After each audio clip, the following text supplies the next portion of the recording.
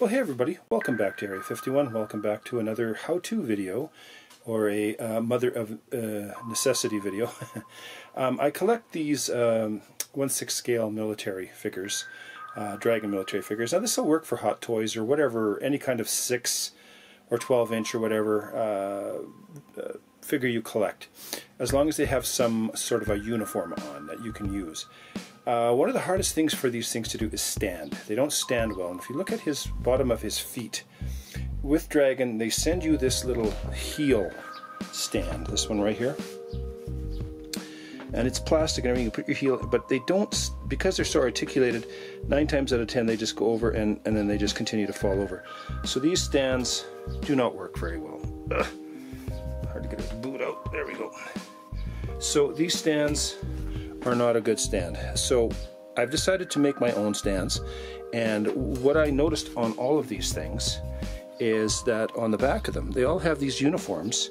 And uh, you can use this uniform to your benefit, and I'm going to show you how.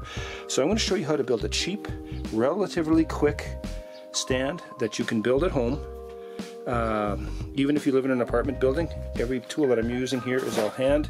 I'm not going to use any power tools, so you can uh, figure out uh, if you want to do this in your house or, or any, anywhere else. So let's I'll show you what I'm using. So here's what you're going to need. You're going to need baseboard. This is just a house baseboard. You can use any one you want. This is just extra I've had left over. You'll need a pencil. You'll need a set of drills. The one we're going to use is 730 seconds. A piece of sandpaper. A little piece of dowel that you can get at your store. And this is a quarter by 36. Uh, I've used up quite a bit. Cordless drill. Uh, miter box. Hammer paint.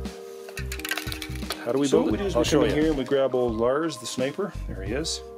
So I want to, got a little bit of a bend there, so I'm not going to use that part. So let's say I want to use this part right here. Put him down, right about there. Uh, make a mark on this side. Make a mark on this side. So you got your two marks, that's about how wide you want to be and uh, you don't have to worry about making these lines straight because when you put them in the miter box to cut them straight uh, they'll be straight uh, as they should be. So that's that's pretty much where I want old Lars to stand. So we're gonna go cut them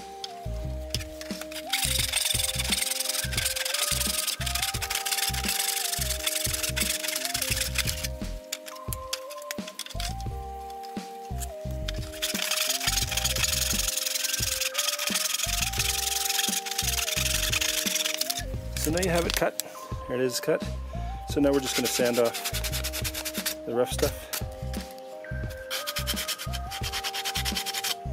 Look pretty. So there, it's done there. Just like that. So, next portion of our show is uh, going to be drilling, drilling a hole in the middle. Drill through if you want to. Now we gotta go measure. So we put that there, we put old Lars right about there. We take our dowel and we put it there and we see that it goes his jacket. So you could almost go, you gotta remember you're gonna put about a quarter of an inch in there. So you mark it off right about there. Give yourself a mark right about there. And then you take it outside and you cut it on the miter saw.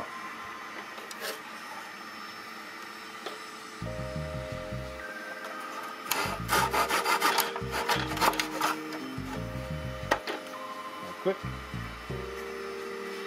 And then just take a piece of sandpaper and round off the edges. Make the edges nice and round.